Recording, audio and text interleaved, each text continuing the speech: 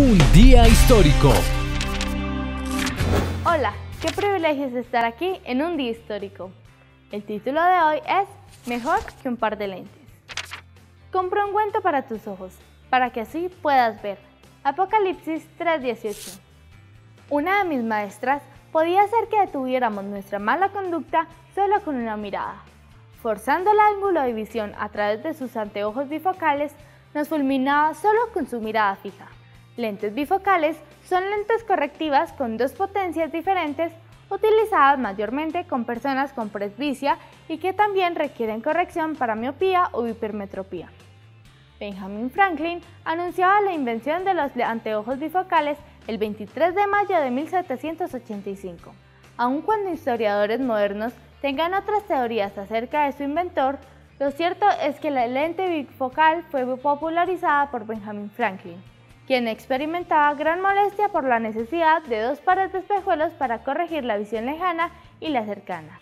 Aprovechando el hecho de que cuando miras algo a corta distancia, usualmente miras hacia abajo y viceversa, los primeros fueron diseñados con lentes para visión cercana en la mitad inferior de la montura y las lentes para visión lejana en la parte superior.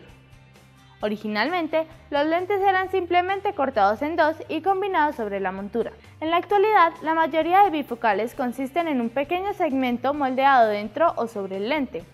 Lo más común es que las personas sufran de miopía o hipermetropía, es decir, dificultades para ver lejos o para ver de cerca, o presbicia y no las dos al mismo tiempo. Aún esta dificultad visual esté cada vez más difundida. El libro del Apocalipsis indica que la última etapa de la iglesia cristiana, la Odisea, tiene un serio problema de visión. Aquí, sin embargo, la prescripción no son lentes bifocales, sino colirio, colirio comprado directamente de Dios. El colirio antiguo tenía una peculiar forma de empaquetado. Cerca de la Odisea había un templo al dios frigio Menkarou. De allí surgió la famosa escuela de medicina donde podía conseguirse un polvo para los ojos. Esta quizás sea la razón histórica para su inclusión en el mensaje a esta última iglesia. El colirio, simbólico ofrecido a los laodicenses, es el antídoto celestial para la ceguera espiritual.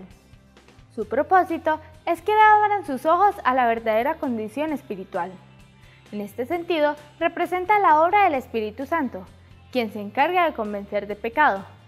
La gracia espiritual del Espíritu Santo, además, capacita al cristiano para distinguir entre la verdad y el error, entre el bien y el mal. Hoy te animo a recibir a Cristo en tu corazón y dejar que su representante, el Espíritu Santo, te haga ver tu verdadera condición espiritual. Dios puede cambiarte, pero necesita que te veas como Él te ve para comenzar ese cambio. Vive hoy tu día histórico.